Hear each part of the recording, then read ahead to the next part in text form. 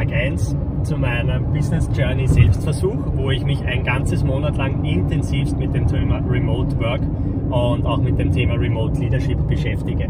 Wie du wahrscheinlich in meiner Show vor einigen Tagen schon gehört hast und gesehen hast, habe ich mich dazu entschlossen, einen Selbstversuch über die nächsten Tage und Wochen zu machen. Und da geht es wirklich darum herauszufinden, okay, wie kann ich mich am besten für Remote Work, für Remote Leadership vorbereiten und währenddessen gleichzeitig aber auch zu dokumentieren, wie ist denn jetzt eine Geschäftsreise in der aktuellen Pandemiesituation tatsächlich.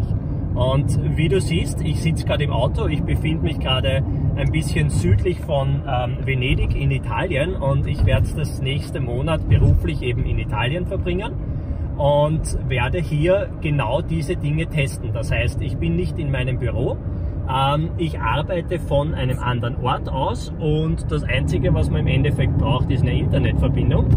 Und da bin ich schon sehr, sehr gespannt, ob das auch tatsächlich reicht und ob man dadurch ganz genauso weiter Business machen kann. Und ja, du bist quasi live dabei.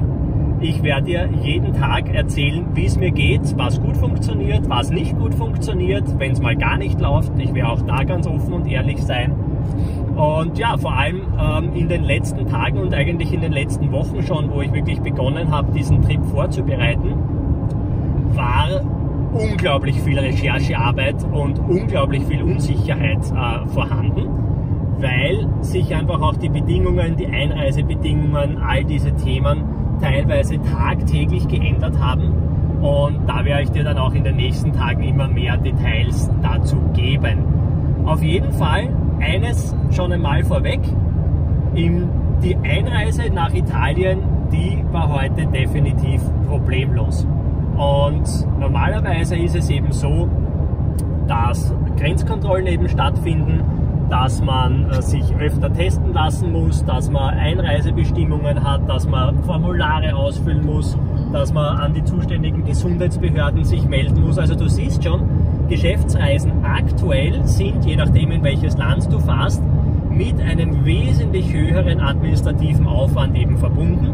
Das ist jetzt nicht unbedingt was Schlechtes, aber man muss sich einfach darauf einstellen und man muss einfach schauen, dass man sich richtig vorbereitet. Aber heute die Einreise nach Italien war problemlos und am Abend geht es dann mit der Fähre weiter und ähm, spätestens morgen werde ich dir dann mitteilen, wie es im Quartier aussieht.